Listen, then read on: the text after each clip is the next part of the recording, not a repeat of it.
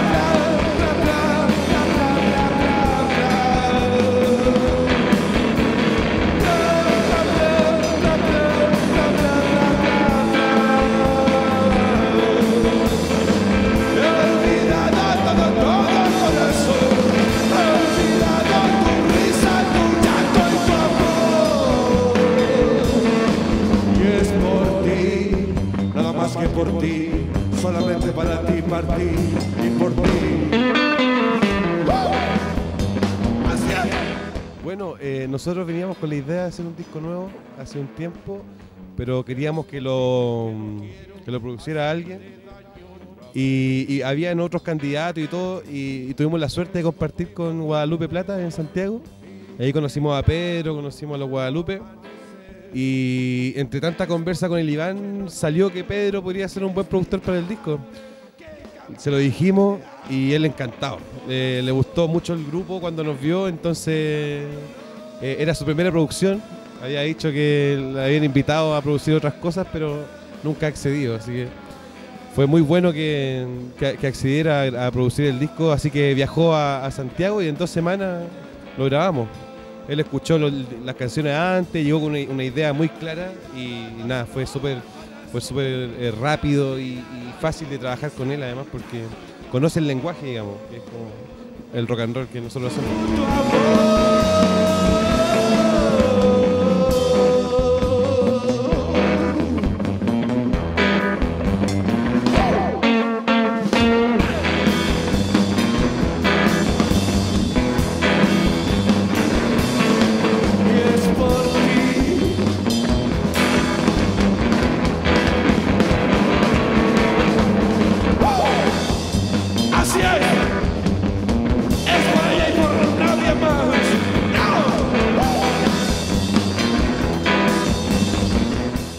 General eh, lo sentimos bastante diferente. Nos pasó que los temas que ahí compusimos para el disco, por primera vez los sentíamos como una propuesta propia. Nosotros mezclamos hartas cosas, incluso los, los gustos nuestros de, ambos son, distintos en una medida importante.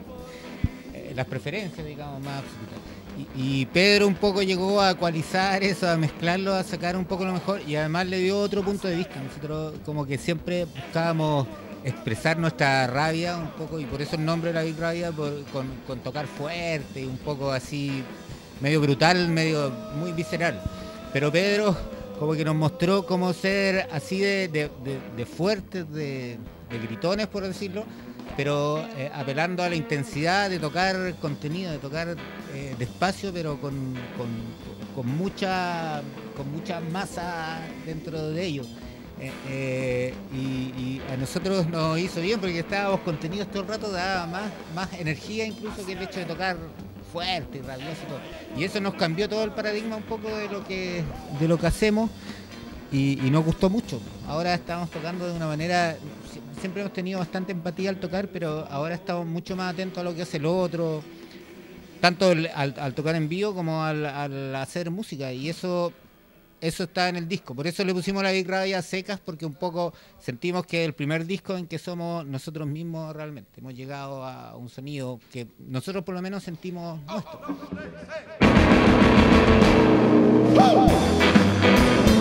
Así es.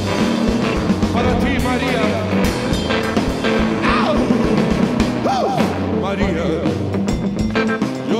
Quiero, yo te amo, de verdad.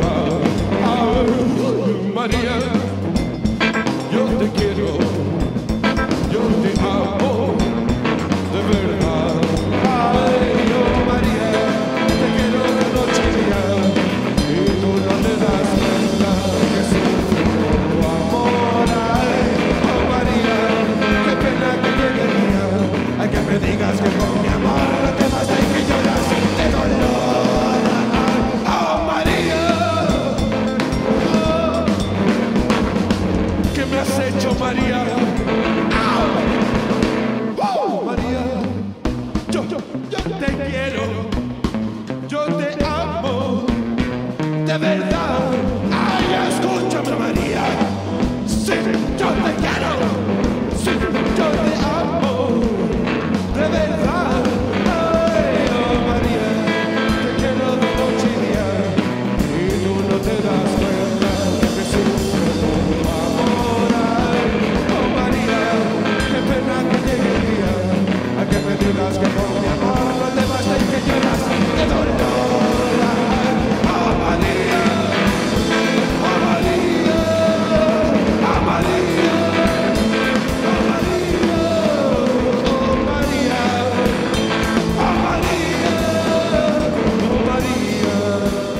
No, no, en lo absoluto. Ni se, ni se vio, ni se vio.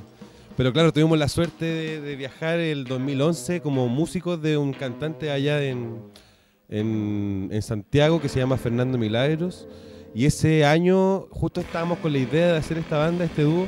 Y bueno, tu- tuvimos la suerte de ver a Grinderman así en pleno, que éramos muy, somos muy fanáticos de, de- de eso. Y nada, y un sinfín de banda que, mm, eh, bueno, el festival es una locura en realidad. En Chile no existe algo como tal. Entonces era muy, muy impresionante e in- inspirador. De hecho, eh, después del festival, llegando a Chile, empezamos a comenzar con la Big Radio, el- a fines del 2011, justo ese año. Y mm, los Perroski, que tienen eh, el sello Algo Record allá, que es nuestro amigo y todo, le comentamos y él feliz. Y ahí grabamos el primer disco, La Bestia, que fue el año 2011. Pero claro, ver a Nick Cave Grindelman fue así, uff, no lo podíamos creer. No lo podíamos creer. Otra vez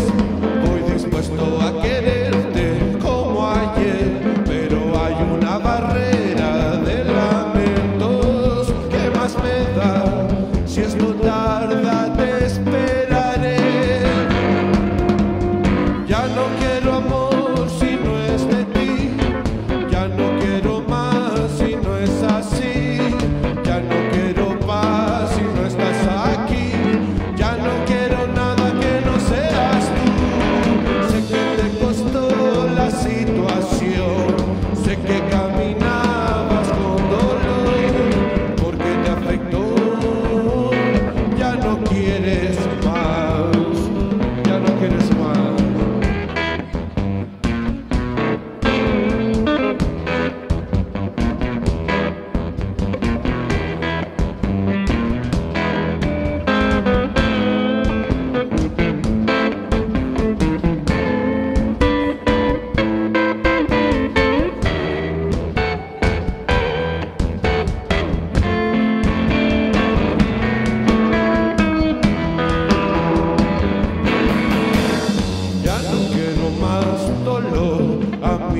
ya te perdí una vez. El mono a nosotros nos gusta mucho. O sea, con Pedro en enero cuando fue a producir el disco Chile, eh, nos hicimos muy amigos. Todos, además Felipe de Ruz, que es un amigo nuestro que nos ha hecho sonido desde que empezamos prácticamente. Y él, grabó el disco. Entonces se formó un equipo, nosotros cuatro, que fue bien, se unió muy rápido, quedamos muy amigos. Y Pedro, obviamente, empezamos a escuchar Pelo Mono y nos gusta mucho. De hecho, nos sentimos muy cómodos y estamos planificando hacer algo, las dos bandas juntas, que somos en total cinco integrantes, así que es un poco fácil. Además de la gira, poder grabar algo. Se, ha dado muy fácil la química en lo personal y por ende también en lo musical.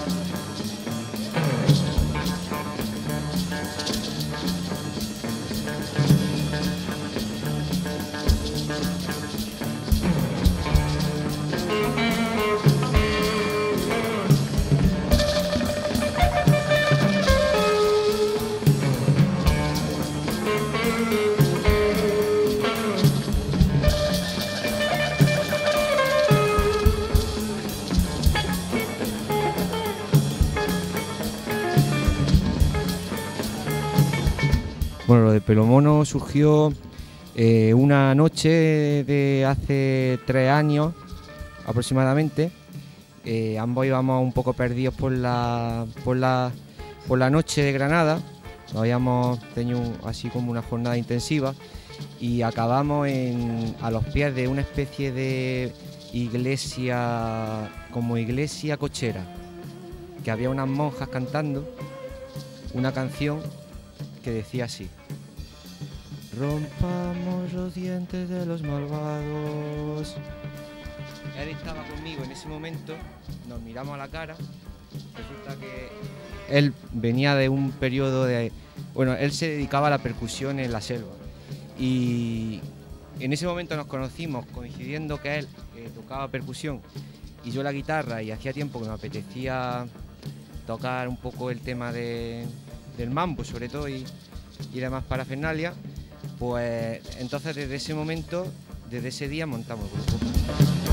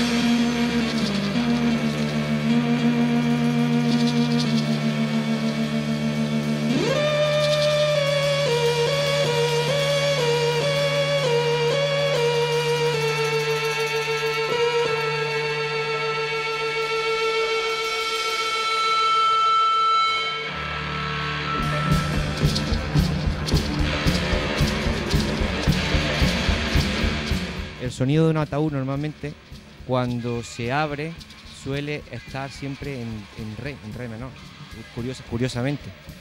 Por eso eh, decidimos tomar ese nombre. El sonido cuando tú... No sé si estás dedicado alguna vez a cazar vampiros.